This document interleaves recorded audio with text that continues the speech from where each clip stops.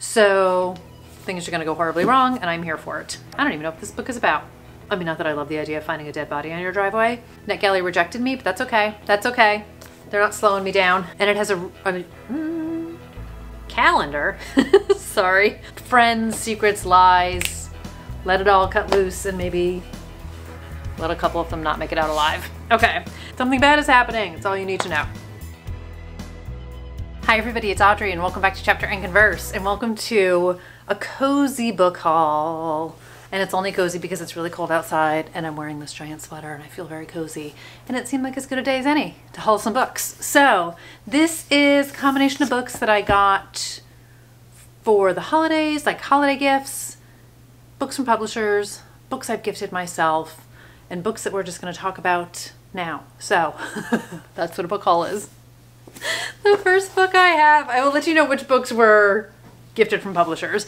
But the first book I have is The Engagement Party. This was not a publisher gift. This is by Darby Kane. This is The Guest List is a Real Killer. This came out at the end of 2023. This has a premise that I absolutely love.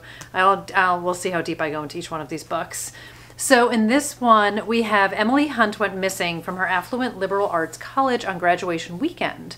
Her body was found floating in a river. Across campus, a quiet loner died by suicide. A tenuous link, one text, bound these two dead students together and was enough for law enforcement to close the case. But they got it wrong, and now someone is determined to set it right.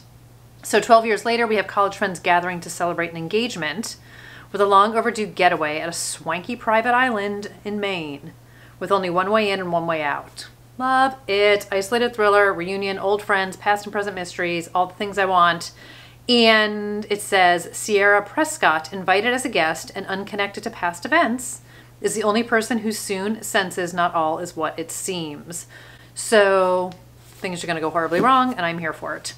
Okay, next up, I picked up A Friend of the Family by Lisa Jewell. So I am on a mission to read every Lisa Jewell book ever. She's a read to zero author for me. And in the process, I am collecting all of her books that I don't have. So it pains me to admit that I've actually read this. This part doesn't pain me to admit. I've actually read this book back in back in the day when I originally discovered Lisa Jewell. The pain part is that I unhauled it in a clear error of judgment when I was forced to unload books because I didn't have anywhere to put them when I lived someplace else. And now I have repurchased it. So this is one of her earlier books. This is still in her, I would say, kind of like rom-com, but with weightiness, period. How's that for a genre? This is her fourth book that she wrote, and this came out in 2003. So I'm excited to reread this. I am not reading her books in order. I'm still like gravitating to them where I feel like it, but this is one that I was missing and decided to pick it up.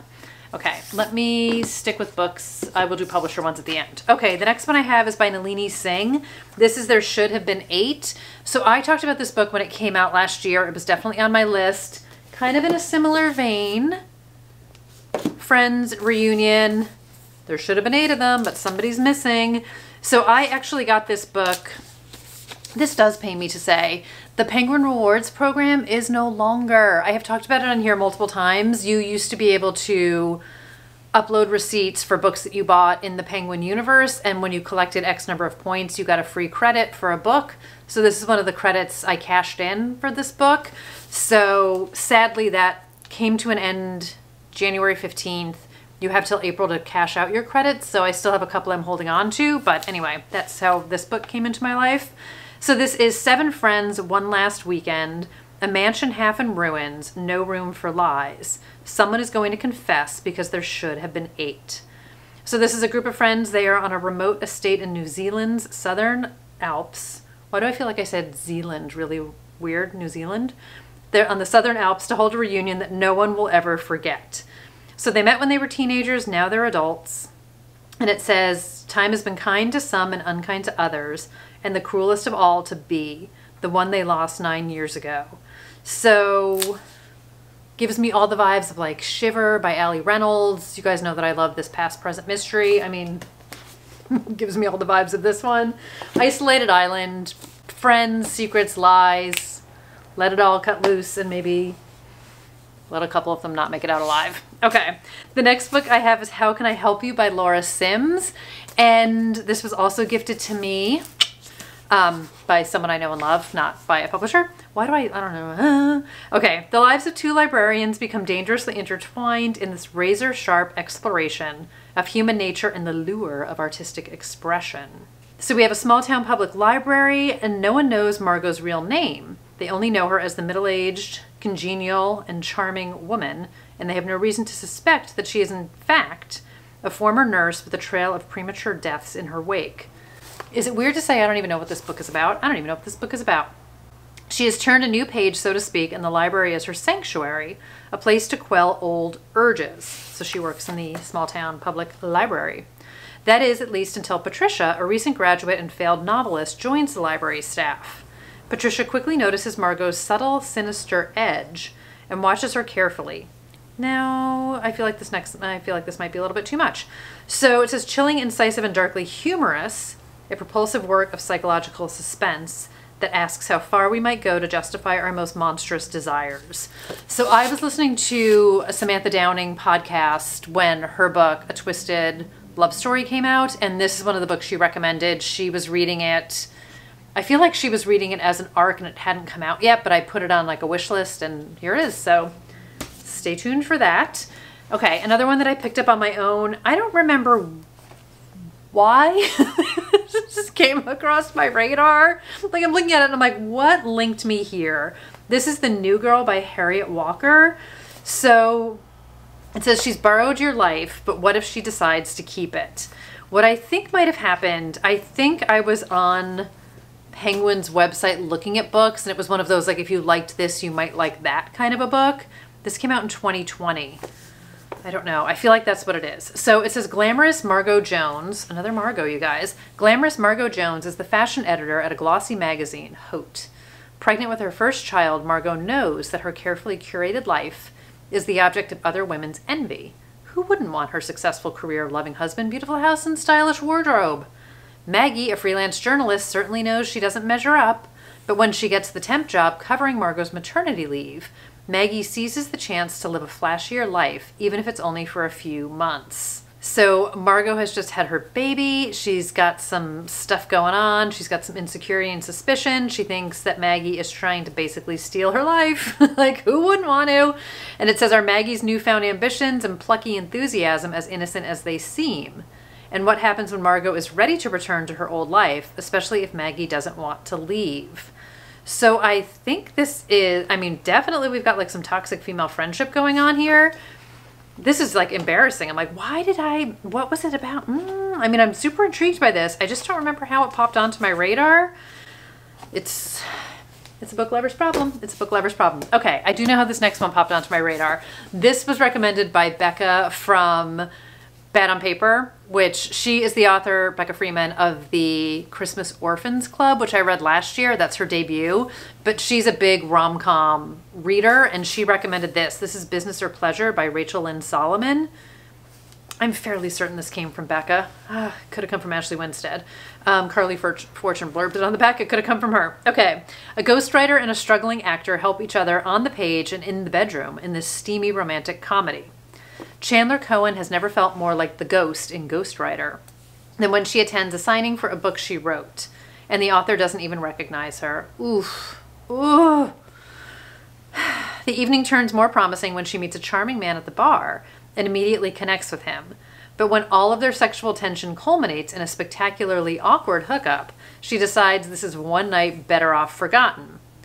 Easier said than done when her ex her ex project, her next project is ghostwriting a memoir for Finn Walsh, a C-list actor best known for playing a lovable nerd on a cult classic werewolf show, who now makes a living appearing at fan conventions across the country.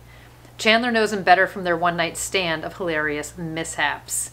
So they're going to have to work together. They're going to have to try and stay apart from each other, perhaps, but I imagine that they're going to get it together. So business or pleasure. Very excited. It just sounds fun. I have written a small rom-com a little bit steamy wave last year, if you guys saw some of my books. So I don't know, it just sounded really good. okay, the next book I have, I talked about this one in a vlog that I did last year, which seems still so funny to say because it's just January.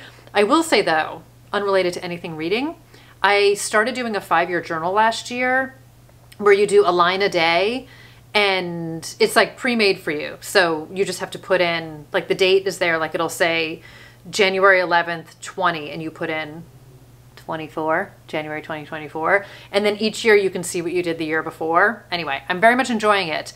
But I have written 2023 for all of this year so far, and I caught myself last night and I had to go back and change it. So, anyway, in 2023, I did a video where I talked about The Prey by Yrsa Sigurdardottir, and here it is, because I ordered it from Blackwell's in the UK. So it took a minute to get here, which is totally fine. So in this one, we have three different stories. So it says the first phone call shocks a family. The second tracks two missing couples. A third from beyond the grave, question mark? How are these events connected and what may be searching for its prey out on the ice. So she definitely writes some ghosty stuff. I have not read any of her books despite buying a few of them. This was a recommendation from Abby at Crime by the Book. These are Nordic Noir, again, multiple families, multiple people. There's going to be some kind of a connection. We have a couple from Reykjavik. We have a man living in a small fishing town on the south coast of Ice, Iceland. And then we have someone who works at the, I cannot pronounce this, in the Highlands. He's alone when the phone rings. Um, I know she does ghosty stuff. I'm doing a terrible job describing this book because there's so much information here. But definitely we've got um, some real bad stuff happening. It is snowy. It is cold. I feel like it's ghosty. A lost child, two missing couples. What was waiting for them on the ice? Maybe I should have just read the blurb on the front. A lost child, two missing couples. Something bad is happening. Something bad is happening. It's all you need to know. Okay, The Cliff House by Chris Brookmyre. Feel like something bad is also going to be happening in this one, which I'm here for it. Seven Women, Seven Sins, One Night of Judgment.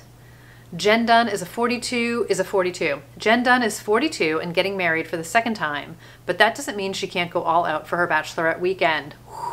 She's booked three days of super exclusive luxury accommodations on a remote Scottish island. Yes, for herself and six other women. There's Jen's tennis coach and fellow tennis playing fashionista, the famous pop star and that pop star's estranged ex bandmate, plus Jen's future sister in law and the sister of her first husband. Awkward. Helicopter won't be back for 72 hours. They have the island all to themselves. You know, some stuff is going down. Somebody goes missing. We get threatening messages. We've got secrets. We've got lies. And yeah, everything I love in a book. Everything I love in a book. Okay. Next one is Ask for Andrea. This is by Noelle Ihli. I-H-L-I. I'm sorry I'm saying that wrong. This was recommended by Gare from Killing the Tea. So I've had my eye on this one for a bit as well. So we have James Carson has gotten away with murder three times. Yes. The only thing that might stop him from killing again? The three women he murdered. He hunted them online, masquerading as an eligible bachelor. Then he played the perfect gentleman, a thick layer of charm and a thousand watt smile, hiding the fact that his first dates end in shallow graves. Mm. But what James doesn't know is that his three victims have found each other and that they're coming for him.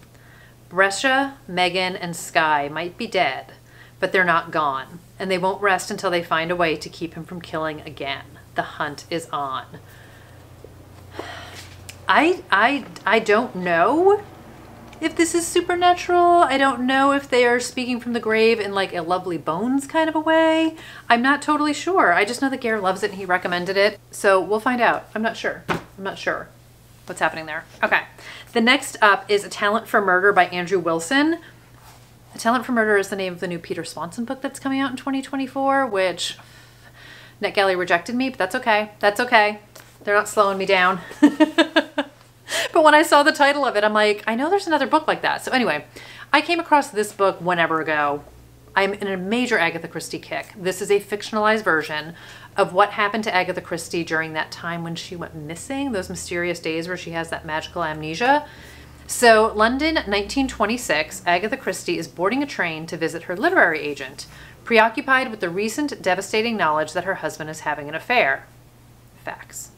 Suddenly, she feels a tap on her back, causing her to lose her balance, and then the sensation of someone pulling her to safety from the rush of an oncoming train. So begins a terrifying sequence of events. For her rescuer is no guardian angel, but a blackmailer of the most insidious, manipulative sort seeking to exploit the world famous novelist's expertise in the art of murder. but writing about murder is a far cry from committing one. And Christie must use every ounce of her ingenuity and cunning to thwart her adversary's evil plan.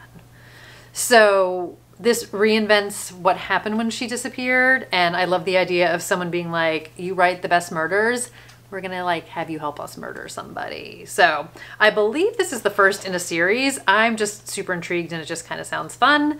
And yeah so there you have it.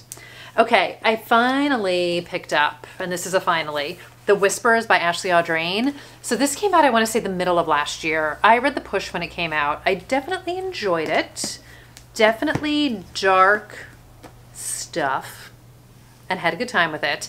And I don't know why I didn't immediately like pull on buying this book, but here I am, I got it. So again, have heard fantastic things about this. I definitely enjoy Ashley Audrain's writing. She explores, I would say motherhood again in this book from what I understand and maybe complex female relationships in this one. I think she just writes real complex women, period and darkness all over the place. So we are on Harlow Street. The well-to-do neighborhood couples and their children gather for a barbecue as the summer winds down. Everything is fabulous until Whitney, the picture-perfect hostess, explodes in fury because her son disobeys her. Everyone at the party hears her exquisite veneer crack, loud and clear. Before long, that same young boy falls from his bedside window in the middle of the night and then his mother can only sit by her son's hospital bed where his life hangs in the balance. So my understanding is we get like some village gossip. What actually happened? Was he pushed? Did he fall? People start talking about her.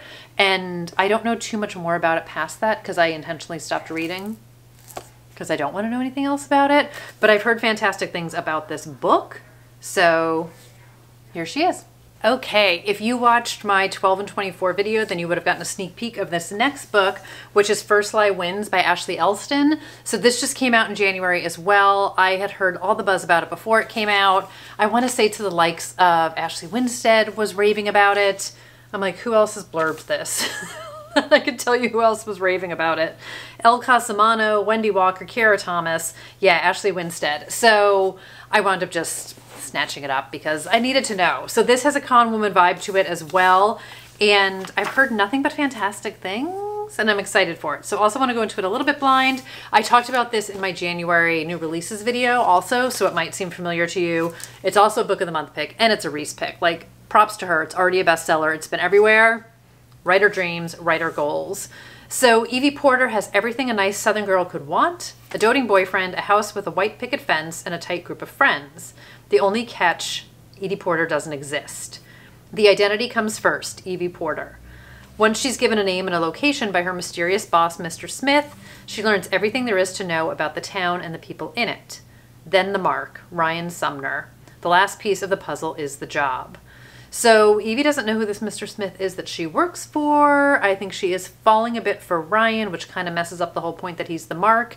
And then a woman strolls into town who seems to be somehow maybe connected to her past or knows something about her or threatens her existence as we know it. I don't totally know. I don't totally want to know. So this is her adult debut. She has written six YA novels. And like I said, I've just heard so many fantastic things about this one. I've also heard this is one of those like don't start it at night because you're not going to fall asleep because you're just going to want to keep reading it. So I'm very much trying to balance. I have read a lot of 2024 releases so far, which I'm not mad about, but I'm trying to read like a little something that's not 2024, but then I'm going to probably head first dive into that one. So stay tuned. And then I have two books that are 2024 releases that I already read. so the first is The Heiress by Rachel Hawkins. I had an e-arc and an audio arc of this, which I loved, which I will have talked about in my January part one reading, which you probably haven't seen yet. But anyway, more, more to come on this. I'm a huge fan of Rachel Hawkins. I have read four, like her four Rachel Hawkins books. She's written books under other names, but I've read all the Rachel Hawkins books. And I have loved them all a lot.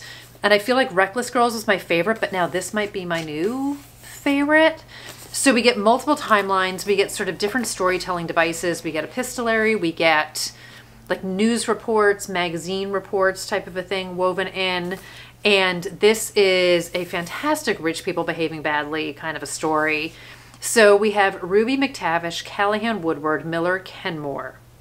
And when she dies, she's North Carolina's richest and most notorious woman. So she was a victim of a kidnapping as a child, a widow four times over, and basically a gossip hub for this town. So she adopted her son Cam, and when she dies, she leaves everything to him, but he doesn't want to have anything to do with the remaining members of the McTavish family. But they are all pretty not pleased that he got all the money, and what did they get? So they still live in the family estate. Cam winds up having to return 10 years later because something happens. He has his wife with him, and we start to understand why Cam doesn't want to be there, the dynamics with the family, and we get to understand Ruby's background as well. It's really good. It's really juicy. I, there's like a fourth wall breaking element to this. Like I just loved everything about it. I love the characters in this. I love her storytelling, her language, her writing. Like I just am such a huge fan of Rachel Hawkins and her humor I just think is fantastic as well. So highly recommend this one. And then the next one I have, which was also a 2023 release, which I had an e-arc of, and then Abby very graciously sent it to me, is Rabbit Hole by Kate Brody. So I got to finish it by physically reading it, which was fun. This came out I want to say January 2nd. It was like the one of the first books that came out this year. And this book is real dark, you guys. Like darker than I expected. So this is which maybe is going to sound weird when I tell you what it's about. So this is about a girl who 10 years ago, she was 16 years old. 10 years ago, her older sister, I want to call her Abby. and she, Abby sent it to me. Her older sister Angie snuck out to go to a party and disappeared. And the case went cold. The police wrote it off as a runaway, and this basically destroyed her family. So when the book opens, it is 10 years later, and her father has just driven his car off a bridge, leaving her and her mother to once again try to pick up the pieces of their family. And Teddy, who was our main character, finds out pretty quickly that her dad has spent the last 10 years trying to find out what happened to her sister, including looking for witnesses, looking for suspects, and going down some deep, dark rabbit holes on the dark web and on Reddit, and a lot of cold case files. So she picks up where her dad left off. She winds up meeting another amateur sleuth who is obsessed with her sister's case. And this is such a brutal, bleak, descent into what grief can do, into obsession, a big old look at like the true crime, true crime, true crime network online. There's so much pain to this. There's so much like striving for hope, of looking for answers. And you see just how Teddy is trying to make sense of things and find something to hold on to and grapple with things. And it's it's a really, really well done book. It is not an easy read at a lot of times. It, it's very bleak and very dark and just heartbreaking in so many ways. But again, so well written. Just fantastic job with these characters. It's a debut novel, which like absolutely blows my mind. And it just, it's very, very well done. I'm like thinking of all these things, but I don't want to say anything about them. I feel like you really need to let the reveals happen in this book. I really recommend it if it sounds like it might be a little bit in your wheelhouse, but there's definitely some difficult material in this and emotions. It's very heavy, it's very weighty. It demands a palate cleanser after it, but I very much enjoyed it. So thank you, Abby, very much. The writing is great and it's just like again bow down kind of a book for someone as their first novel. And not that necessarily is like the first one she wrote but still. And like it's a it's a go all in it's a hold nothing back kind of a book. And i just have so much admiration for that. So very good read. And then i have three books that were gifted to me from publishers. So the first one is time boxing the power of doing one thing at a time by Marc Zao-Sanders. I don't have the words to tell you how badly i need a book like this I am the queen of multitasking, which we all know is the worst thing you can possibly do because you don't get stuff done. And I feel like as I getting older. I can't do things the way that I used to. I can still keep hitting myself in the face with books when I film videos. So it says the gloriously simple practice of choosing one thing to do, when to do it, and getting it done. So time boxing offers guidance on what you can do, should, and will do at any given moment. A pragmatic and life-changing practice of intentional daily activity. So I really need this. Obviously, this is self-help. So it says the problem time boxing solves is that we don't use our time well. I do not use my time well. Time boxing is the practice of selecting what to do before the day's distractions arise, specifying each task in a calendar, including when it will start and finish. Calendar? Sorry. Focusing on one thing at a time and doing each to an acceptable rather than perfect standard. So it's a combination of the to-do list and the calendar. I am in such desperate need of a reboot on how to get stuff done because I am real good at having ideas. I am not good at executing and completing, and I definitely psych myself out with a lot of stuff. So this actually comes out in February. This is from St. Martin's, and I'm excited to dig into this one and to hopefully walk away from it in a much better place than I am today. And then I have two thrillers. The first one is The Silence in Her Eyes by Armando Lucas Correa. This was gifted to me by Atria. I mentioned this in my January Most Anticipated, and I'm very excited for this one. So this is a rear window with a twist on it.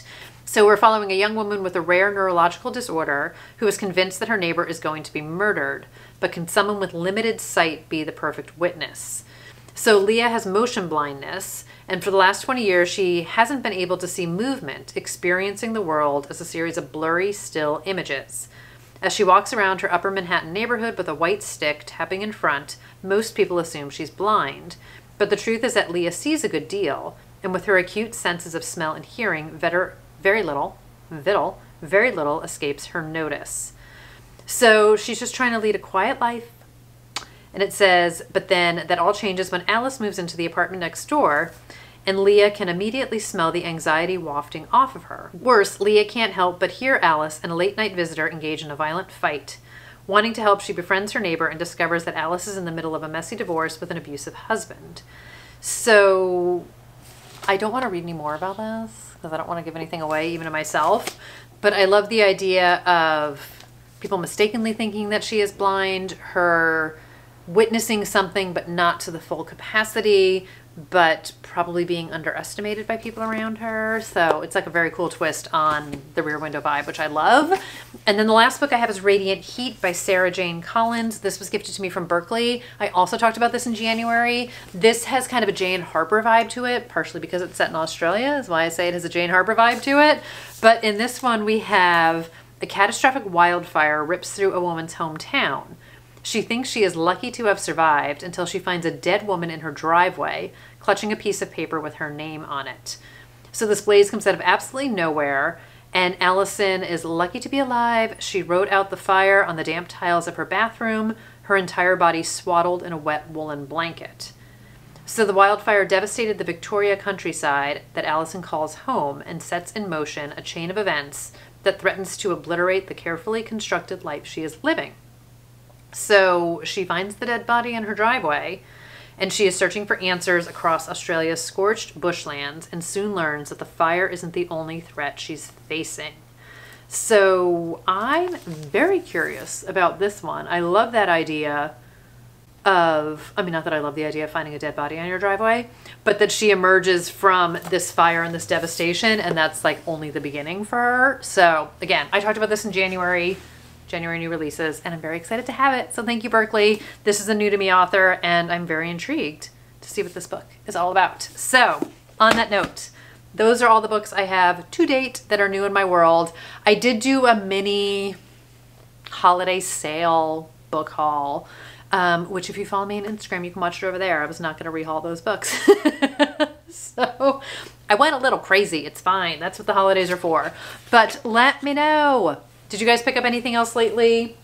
Where to begin with this pile of books? It's definitely, a, um, I was going to say, it's really an array of books. No, there's one rom-com in this. Everything else is like basically thriller adjacent, if not a straight up thriller. So we'll get there when we get there. So there you have it. But thanks so much for watching today and hanging out with me and watching the book haul and for being here and for all that you do. And I've probably said this 10 times over, but I hope everybody's having a fantastic start to the new year. By the time you see this, it's probably going to be like even later and you guys are like, what are you talking about? But at least I like legit know it's 2024. I know it. I can't write it, but I know it. And I will see you back here in another video. This is brutal. It's been a day. All right. Thanks so much for being here, guys. I will see you in the next one. Bye, everybody.